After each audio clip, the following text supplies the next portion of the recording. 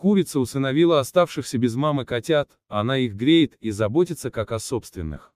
Несколько дней подряд фермер слышал тихое мяуканье, которое раздавалось из курятника.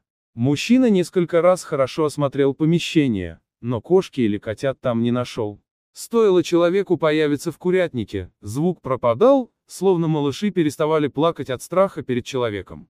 Наконец Горану удалось найти источник звука. Котята скрывались в очень необычном месте, под крыльями белой курицы.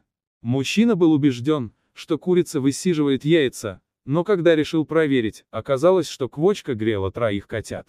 Скорее всего, рядом с курицей котята оказались случайно, возможно, малыши тайком пробрались в курятник, чтобы согреться или просто удовлетворить свое любопытство. Курица пожалела малышей и решила их согреть. Кормить своих приемных деток птица не сможет. Эту задачу взял на себя фермер, но она продолжает согревать малышей.